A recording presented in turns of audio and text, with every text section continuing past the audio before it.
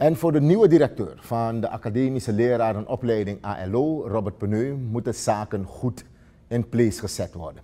Dit zal volgens hem erin resulteren dat de studenten met een gerust hart opgeleid kunnen worden tot docent. De ALO-directeur gaf eh, dit aan ten aanzien van het probleem met studenten die jaren over de studie doen.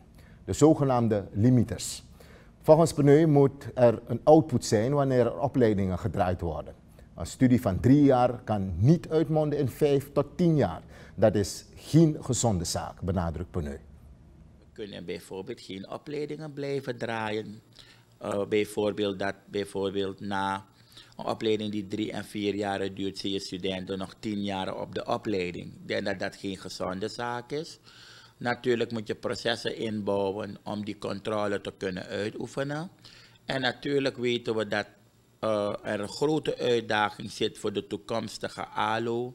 Dat is een nieuw gebouw opzetten en groot, want op dit moment, het IOL is uit zijn voegen gegroeid. Het IOL heeft hier en daar, uh, kan je zeggen, dependances. We hebben het hoofdgebouw IOL, we hebben ook studenten die les volgen op de AMS, studenten die les volgen op het HAVO 1 en als je de controle moet uitoefenen, moet je liever alles op één complex hebben. En ik denk dat heel binnenkort um, ook een plan gepresenteerd zal worden aan de minister van kijkt u.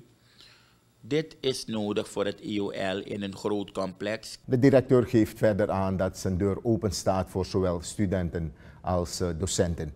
Als er problemen zijn met betrekking tot een bepaalde opleiding, is het een kwestie van horen en wederhoren, benadrukt Peneu. Uh, wat zeker ook belangrijk is in het aanhoren, is waar is het probleem werkelijk? Is het probleem een didactisch probleem?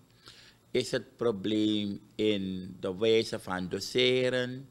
Is het probleem in het niveau van de student die die college niet kan volgen? Maar is het een huiselijk probleem waardoor zaken verkeerd lopen?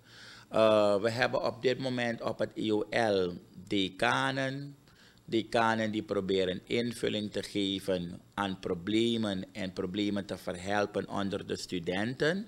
En natuurlijk zal ook met de decanen een gesprek gevoerd worden van wat zijn de hedendaagse problemen. En dan komt het proces binnen, wat wij ook binnen dat IOL willen en de ALO, vooral in de ALO, de studieloopbaanbegeleider.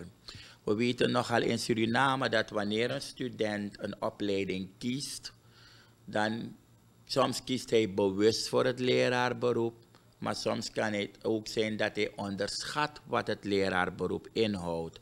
En soms als hij dat leraarberoep heeft gekozen, dan merkt hij zelf van, mm -mm, in dit zie ik me liever niet zitten. Maar dan moeten de studieloopbaanbegeleiders, qua het niveau en de diploma die de student heeft, adviezen kunnen geven van, hebt u hierover nagedacht, zou u dit willen doen? Waardoor uiteindelijk de jaren die de student besteedt aan studeren niet zomaar verloren gaat, want time is money. Dat was dus eh, Robert Peneu, directeur van de academische lerarenopleiding ALO, voorheen IOL. We spraken met hem over onder andere het probleem van de studielimiters van het IOL.